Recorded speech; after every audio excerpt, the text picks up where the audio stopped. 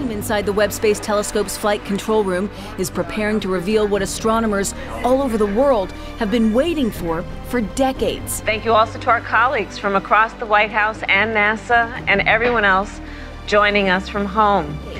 The telescope's first full color images, which are expected to be light years more impressive than the test images released last month, These images are going to remind the world that America can do big things. and will include the deepest image of our universe that's ever been taken. The deep field അല്ലെങ്കിൽ വെബിന്റെ deep field American president Joe Biden. Webb first field എന്ന് പറയുന്ന ചിത്രം white ഹൗസിൽ വെച്ച് നടന്ന ഒരു പ്രോഗ്രാമിലാണ് പുറത്തുവിട്ടത്. ആകാശത്തിലെ ചെറിയൊരു പാച്ച് അല്ലെങ്കിൽ ഏകദേശം ഒരു മണൽത്തരിയോളം മാത്രം വലിപ്പമുള്ള ഒരു പാർട്ടിലേക്ക് മണിക്കൂറുകളോളം നിരീക്ഷിച്ചുകൊണ്ടാണ് വളരെ ഡീറ്റെയിൽഡ് ആയിട്ടുള്ള ഒരു ചിത്രത്തെ ജെയിംസ് വെബ് പുറത്തുവിട്ടിരിക്കുന്നത്. ആ ചിത്രത്തിൽ തന്നെ ആയിരക്കണക്കിന് ഗാലക്സികളെ നമ്മുടെ പ്രപഞ്ചത്തിൽ കാണാൻ സാധിക്കുന്നുണ്ട്. ആലോചിച്ച് നോക്കുക ജെയിംസ് വെബിന്റെ അത്രയും ഷാർപ്പായിട്ടുള്ള നിയർ ഇൻഫ്രാറെഡ് ക്യാമറയുടെ സഹായത്തോടു കൂടി ഇത്രയും ദൂരെയുള്ള ഏകദേശം നാല് പോയിന്റ് ആറ് ബില്യൺ പ്രകാശവർഷം അകലെയുള്ള ഗാലക്സികളുടെ സ്ട്രക്ചറുകളാണ് നമുക്ക് തന്നിരിക്കുന്നത്. ഫുൾ കളർ ഇമേജുകളും ഡാറ്റയും കാണാൻ നമുക്ക് നാസയുടെ വെബ്സൈറ്റുകളെ കൂടുതൽ ആശ്രയിക്കേണ്ടതായിട്ട് വരും. എങ്കിലും സാധാരണക്കാർക്ക് മനസ്സിലാകുന്ന തരത്തിലുള്ള ചിത്രത്തെ ഒരു ഇരുപത്തി എട്ട് എം ബി വലിപ്പമുള്ള ചിത്രമായിട്ട് നാസ അതിന്റെ വെബ്സൈറ്റിൽ തന്നിട്ടുണ്ട്. ഇനിയിപ്പോൾ ഇതിന്റെ അനാലിസിസുകൾ നടക്കുകയും അതുപോലെ തന്നെ അനാലിസിസിന്റെ ഫലമായിട്ട് പല കാര്യങ്ങളും പഠിക്കുകയും ചെയ്യും. ആ ചിത്രത്തിൽ എന്താണ് പറഞ്ഞിരിക്കുന്നത്? അല്ലെങ്കിൽ ജെയിംസ് വെബ് സ്പേസ് ടെലസ്കോപ്പ് പ്രപഞ്ചത്തിന്റെ വളരെ ചെറിയൊരു പോയിന്റിലേക്ക് നോക്കിയതിന് ശേഷം കണ്ട കാഴ്ചകൾ എന്തൊക്കെയാണ്? അതിൽ എന്തൊക്കെയുണ്ട്? അതിൽ നിന്ന് നമുക്ക് എന്തൊക്കെ പഠിക്കാൻ സാധിക്കും? ഒരു ചെറിയ തരത്തിലുള്ള ഒരു കർവേച്ചർ ആ ഫിഗറിൽ കാണുന്നത് എന്ത്? തുടങ്ങിയ കാര്യങ്ങൾ ആ ചിത്രത്തെ അനലൈസ് ചെയ്തുകൊണ്ട് നമുക്ക് നോക്കാം. ഹബിൾ സ്റ്റീപ്പ് ഫീൽഡ് എന്ന് പറയുന്ന ഇമേജ് ഞാൻ ആദ്യം കാണിച്ചു തരാം. അതും ഇപ്പോൾ വെബ് എടുത്തിരിക്കുന്ന ഡീപ് ഫീൽഡും തമ്മിലുള്ള വ്യത്യാസമാണ്. ഈ ചിത്രങ്ങളൊക്കെ തന്നെ സ്പേസിലെ വളരെ വളരെ ടൈനി ആയിട്ടുള്ളൊരു പാച്ചിനെയാണ് റെക്കോർഡ് ചെയ്യുന്നത്. ഉദാഹരണത്തിന് ഭൂമിയിലേക്ക് നോക്കിയിട്ട് ജെയിംസ് വെബ് ടെലസ്കോപ്പിന് ഒരു ചിത്രം എടുക്കാൻ കഴിയുമെങ്കിൽ എന്റെ കയ്യിലിരിക്കുന്ന ഒരു മണൽത്തരിയെ എങ്ങനെ സൂം ചെയ്താൽ ഇരിക്കുമോ? അതുപോലെയാണ് ഈ ചിത്രത്തിൽ നമുക്ക് വിശദീകരിക്കാൻ കഴിയുക. ഈ ചിത്രത്തിൽ കാണുന്ന പല ഗാലക്സികളും ഏകദേശം നാല് പോയിന്റ് ആറ് ബില്യൺ വർഷങ്ങൾക്ക് മുമ്പുള്ള ഗാലക്സികളാണ്. ഇതിൽ ഏറ്റവും കൂടുതൽ നമ്മൾ പശ്ചാത്തലത്തിൽ കാണുന്നതും ഗാലക്സികളാണ്. കാരണം നക്ഷത്രങ്ങൾ കൂടുതലും ഗാലക്സികളുടെ ആകർഷണ വലയത്തിലാണ് കാണപ്പെടുക. പിന്നെ ഇതിൽ ഫ്ലെയറുകളോട് കൂടി കാണപ്പെടുന്ന ഈ രൂപങ്ങൾ തിളക്കങ്ങൾ സത്യത്തിൽ നമ്മുടെ മിൽക്കി വേ ഗാലക്സിയിൽ തന്നെയുള്ളതോ അല്ലെങ്കിൽ നമുക്ക് കാണാൻ കഴിയുന്നതുമായിട്ടുള്ള നക്ഷത്രങ്ങളാണ്. ഈ നക്ഷത്രങ്ങളുടെ ആ ഒരു വലിപ്പത്തിന്റെ പശ്ചാത്തലത്തെ പോലും നമ്മൾ നന്നായിട്ട് ഫോക്കസ് ചെയ്ത് ഗാലക്സികളെ കാണുന്നുണ്ട്. ഈ ഒരു ഗാലക്റ്റി ക്ലസ്റ്ററിന്റെ പേര് എസ് എം എ സി അറുപത്തേഴ് ഇരുപത്തി മൂന്നാണെന്ന് ഞാൻ പറഞ്ഞു. ഇതിനെ നമുക്കൊന്ന് ഡീപ്പായിട്ട് പഠിക്കുന്നതിന് മുമ്പ് ഈ ചിത്രം എനിക്ക് എന്തുമാത്രം സൂം ചെയ്യാൻ കഴിയുമെന്ന് ഞാൻ കാണിച്ചു തരാം. കണ്ടോ? ഏകദേശം ഇതിനകത്തുള്ള കുറേ ഗാലക്സികളുടെ ഡീറ്റെയിൽസ് അവരുടെ ഷേപ്പ് കളർ ഇതൊക്കെ തന്നെ നമുക്ക് വ്യക്തമായിട്ട് തിരിച്ചറിയാൻ കഴിയുന്നുണ്ട്. ഈ പല ഗാലക്സികളും അടങ്ങിയിരിക്കുന്ന കോടിക്കണക്കിന് നക്ഷത്രങ്ങളിൽ പലതും ആൾറെഡി മരണപ്പെട്ടു പോയ നക്ഷത്രങ്ങളാവാനാണ് സാധ്യത. കാരണം നാല് പോയിന്റ് ആറ് ബില്യൺ പ്രകാശവർഷം അകലെയുള്ള ഗാലക്സികളുടെ ചിത്രം എന്ന് പറയുമ്പോൾ നാനൂറ്റി അറുപത് കോടി വർഷം അത്ര നിസ്സാരമായിട്ടുള്ള വർഷമല്ല. നമ്മുടെ ഭൂമിക്ക് സൂര്യനൊക്കെ ഏകദേശം അത്രത്തോളം മാത്രമേ ഇനി ആയുസുള്ളൂ എന്ന് നമ്മൾ പറയാറുമുണ്ട്. അപ്പോൾ ഈ പശ്ചാത്തലത്തിൽ കാണപ്പെടുന്ന കോടിക്കണക്കിന് കിലോമീറ്റർ അകലെയുള്ള ഗാലക്സികൾക്കും നമ്മുടെ ജെയിംസ് വെബിന് ഇടയ്ക്ക് വരുന്ന നക്ഷത്രങ്ങളാണ് ഈ കാണുന്ന ഫ്ലെയറുകളുള്ള രൂപങ്ങൾ. അപ്പോൾ ഈ നക്ഷത്രങ്ങളെ കൂടി ഉൾപ്പെടുത്തി കഴിഞ്ഞാൽ ഇതിന് മൊത്തത്തിലൊരു കർവേച്ചർ കാണാൻ കഴിയും. ഉദാഹരണത്തിന് ദാ ഈ ഭാഗത്ത് ദാ ഈ ഭാഗത്ത് ഇതൊക്കെ ഗാലക്സികൾ ഒരുമാതിരി കർവ് ചെയ്ത് നിൽക്കുന്നതായിട്ട് കാണാം.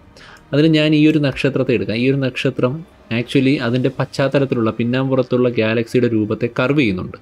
ഈ ഗാലക്സി ഒരുപാട് പ്രകാശവർഷ അകലെയുള്ളതാണ്. പക്ഷേ അതിന്റെ പ്രകാശം കടന്നു വരുന്ന വഴിക്ക് ഈ നക്ഷത്രത്തിന്റെ ഗുരുത്വാകർഷണ മണ്ഡലത്തിൽപ്പെട്ട് ഗ്രാവിറ്റേഷൻ ലെൻസിങ് സംഭവിക്കുന്നത് കൊണ്ടാണ് വിചിത്രമായുള്ളൊരു ഷേപ്പിലേക്ക് ഈ ഗാലക്സി മാറിയത്.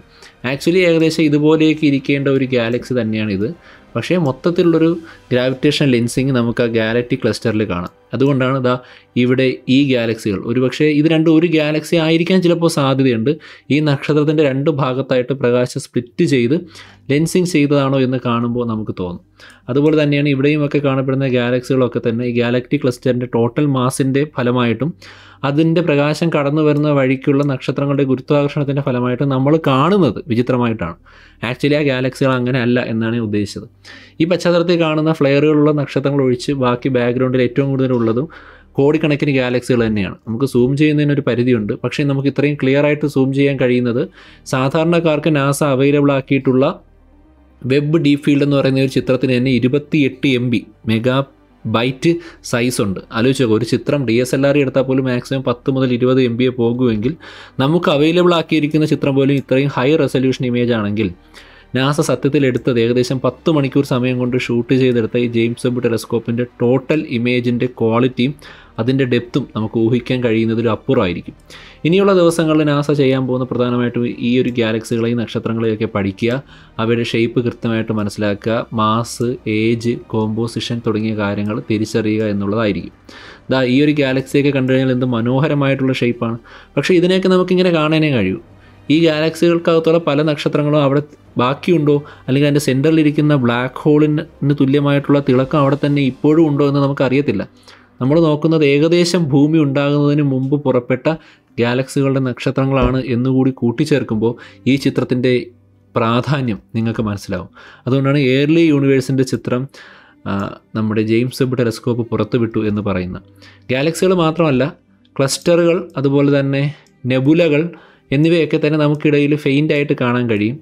എന്തായാലും നിങ്ങൾക്ക് ഈ ചിത്രം നേരിട്ട് ഇതേപോലെ ഒന്ന് വെരിഫൈ ചെയ്ത് സൂം ചെയ്ത് കണ്ട് ആസ്വദിക്കുന്നതിനുള്ള നാസയുടെ ലിങ്ക് ഞാൻ ഡിസ്ക്രിപ്ഷൻ ബോക്സിൽ കൊടുക്കാം. അവിടെ ചെന്നതിന് ശേഷം നിങ്ങൾ മാക്സിമം റെസൊല്യൂഷനുള്ള ചിത്രം ഡൗൺലോഡ് ചെയ്യുക. അതിനുശേഷം നിങ്ങളുടെ സ്മാർട്ട് ഫോൺ ഉപയോഗിച്ചുകൊണ്ടോ അല്ലെങ്കിൽ കമ്പ്യൂട്ടർ മോണിറ്റർ ഉപയോഗിച്ചുകൊണ്ടോ സൂം ചെയ്ത് മൊത്തത്തിൽ ചിത്രം ഒന്ന് അനലൈസ് ചെയ്ത് നോക്കുക. ജെയിംസ് ടെലസ്കോപ്പിന് അകത്തുള്ള എൻ ഐ ആർ ക്യാമറ അല്ലെങ്കിൽ നിയർ ഇൻഫ്രാറെഡ് ക്യാമറയിലാണ് ഇത്തരത്തിലുള്ളൊരു ചിത്രം പതിച്ചത്. ഏകദേശം പന്ത്രണ്ട് പോയിന്റ് അഞ്ച് മണിക്കൂർ നേരമാണ് തുടർച്ചയായിട്ട് ജെയിംസ് വെബ് സ്പേസ് ടെലസ്കോപ്പ് ചെറിയൊരു പാച്ചിലേക്ക് നോക്കിയതിന് ശേഷം മാക്സിമം ഡീറ്റെയിൽ ആയിട്ടുള്ള ചിത്രം എടുത്തിരിക്കുന്നത്. അതിൽ കാണപ്പെടുന്ന നക്ഷത്രങ്ങളെക്കാൾ നമ്മൾ ശ്രദ്ധിക്കേണ്ടത് അതിന്റെ പശ്ചാത്തലത്തിൽ കാണപ്പെടുന്ന പല ഗാലക്സികളാണ് ഒറ്റ നോട്ടത്തിൽ അടുത്തടുത്ത് കാണപ്പെടുന്ന ഗാലക്സികളാണ് എന്ന് തോന്നുന്നുണ്ടെങ്കിലും ആ ഗാലക്സികളൊക്കെ തന്നെ പരസ്പരം മിൽക്കി വേയും ആൻഡ്രോമീഡയും തമ്മിലുള്ളതിനേക്കാൾ കൂടുതൽ ദൂരം പങ്കിടുന്നുണ്ട് എന്ന് ചിന്തിക്കുമ്പോൾ എത്ര കൃത്യമായിട്ട് ഫോക്കസ് ചെയ്യാൻ നമ്മുടെ അത്യാധുനിക മെഷീനായിട്ടുള്ള ജെയിംസ് വെബ് സ്പേസ് ടെലിസ്കോപ്പിന്റെ ക്യാമറകൾക്ക് സാധിച്ചിട്ടുണ്ട് എന്ന് കണ്ണുമടച്ച് വിശ്വസിക്കാൻ നമുക്ക് സാധിക്കുന്നുണ്ട്. ഹബിൾ സ്പേസ് ടെലസ്കോപ്പിന്റെ ചിത്രവുമായിട്ട് ബന്ധപ്പെടുത്തി അല്ലെങ്കിൽ ഹബിൾ ഡീപ് ഫീൽഡ് എന്ന് പറയുന്ന ചിത്രവുമായിട്ട് നമ്മൾ താരതമ്യപ്പെടുത്തുകയാണെങ്കിൽ ഹബിളിന്റെ ചിത്രം ഏകദേശം മുപ്പത് വർഷത്തിന് മുൻപ് ഹബിൾ പ്രവർത്തനം തുടങ്ങിയതിന് ശേഷം എടുത്ത ഇത്തരത്തിലുള്ളൊരു ചിത്രം. നമുക്ക് കിട്ടിയത് ഏകദേശം ആഴ്ചകളോളം ആ ഒരു ഭാഗത്തേക്ക് ഹബിൾ സ്പേസ് ടെലസ്കോപ്പ് നോക്കിക്കൊണ്ടിരുന്നിട്ടാണ്. എന്നാൽ അത്രയും സമയം എടുക്കാതെ തന്നെ അതിനേക്കാൾ റെസൊല്യൂഷനുള്ള അതിനേക്കാൾ ദൂരെയുള്ള അതിനേക്കാൾ ക്ലിയർ ആയിട്ടുള്ള ഗാലക്സികളെ നമുക്ക് കാണിച്ചു തരാൻ വെബിന് കഴിഞ്ഞു അല്ലെങ്കിൽ വെബ് ടെലസ്കോപ്പിന് കഴിഞ്ഞു എന്നുള്ളതാണ് അത് നൽകുന്ന ഏറ്റവും സാറ്റിസ്ഫൈങ് ആയിട്ടുള്ള ഒരു റിസൾട്ട് എന്ന് പറയുന്നത്. ഒരുപാട് വർഷം നീണ്ടുപോയി ഒരുപാട് കോടി തുക മുടക്കി എന്നുള്ളതിനേക്കാൾ അത് നൽകുന്ന ഔട്ട്പുട്ട് എന്ന് പറയുന്നത് അവിശ്വസനീയമാണ് എന്ന് ശാസ്ത്രലോകത്തിന് വിശ്വസിക്കാനും ഇത്രയും നല്ല ചിത്രം പ്രപഞ്ചത്തെക്കുറിച്ചുള്ള കൂടുതൽ അഗാധമായിട്ടുള്ള കാഴ്ചകളിലേക്ക് നമ്മളെ സഞ്ചരിപ്പിക്കാനായിട്ട് പ്രേരിപ്പിക്കും എന്നുള്ളതിനും യാതൊരു സംശയമില്ല ജെയിംസ് വെബ് ടെലസ്കോപ്പിനെ കുറിച്ച് വളരെ വ്യക്തമായിട്ട് അനിമേഷനുകൾ ഉൾപ്പെടെയുള്ള ഒരു വീഡിയോ ഞാൻ എന്റെ ചാനലിൽ ചെയ്തിരുന്നു. അത് വിക്ഷേപിച്ച സമയത്ത്. അത് കാണുകയാണെങ്കിൽ എന്താണ് ടെലസ്കോപ്പ് എന്നും എന്തുകൊണ്ടാണ് അതിന് ഇത്രയും പ്രാധാന്യമെന്നും നിങ്ങൾക്ക് മനസ്സിലാകുമെന്ന് ഞാൻ വിശ്വസിക്കുന്നു. എന്തായാലും ഈ വീഡിയോ ഞാനിവിടെ അവസാനിപ്പിക്കുകയാണ്. ഏറ്റവും പ്രധാനപ്പെട്ട ഒരു ന്യൂസിനെ കുറിച്ച് നിങ്ങൾക്ക് മനസ്സിലായെന്ന് പ്രതീക്ഷിക്കുന്നു. മറ്റൊരു എപ്പിസോഡിൽ വീണ്ടും കാണാം. അതുവരെ ബൈ.